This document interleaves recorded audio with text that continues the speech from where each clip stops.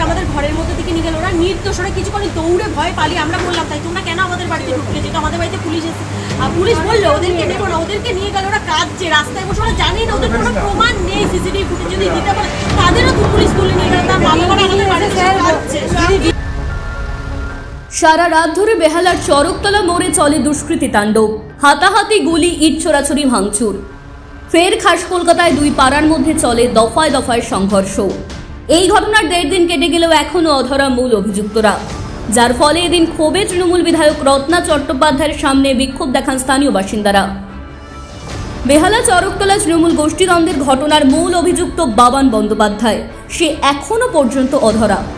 যদিও তার খোঁজ চালাচ্ছে পুলিশ, এমনটাই দাবি করা হচ্ছে। কিন্তু এত সময় কেটে গেলেও কেন প্রশাসন কোনো পদক্ষেপ নিচ্ছে না?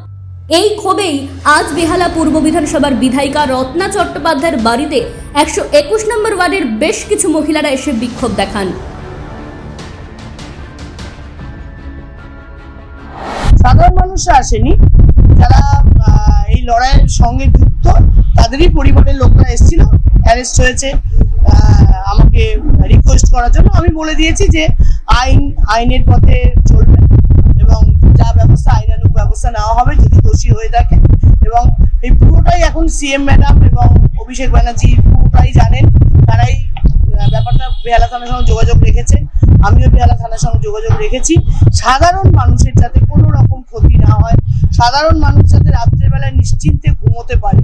এদের অত্যাচারে। যে যে দলের হোক, দেখুন এখানে আপনারা মিডিয়া কদিন কাল থেকে বা পরশু থেকে দেখেই যাচ্ছেন, এটা তৃণমূলের গোষ্ঠীদ্বন্দ্ব। এটা তৃণমূলের কোনো রকম গোষ্ঠীদ্বন্দ্ব নয়। তৃণমূলের, দেখুন, আজকে আমাদের পশ্চিমবঙ্গে বিরোধী প্রায় নেই বললেই চলে। সবাই তৃণমূল করে। যখন দুটো পাড়ার মধ্যে গন্ডগোল হয়, যারা আসে তারাও তৃণমূল করে। তার মানে এই- গোষ্ঠীদ্বন্দ্ব দুটো পাড়ার মধ্যে চড়ক মেলা নিয়ে একটা গন্ডগোল লেগেছিল এবং সেটা থানায় বসে মিটিয়েও দেওয়া হয়েছিল। তারপরে একটা পাড়া একটার উপর পাড়ার উপর ঝাঁপিয়ে পড়ে, ফলে দুপক্ষের মধ্যে লড়াই হয়েছে। আমি তাদেরকে বলে দিয়েছি যে আমার হাতে এটা নেই, এটা আইনের হাতে চলে গেছে। আইন যা ব্যবস্থা নেবে, সেটা সবাইকে মেনে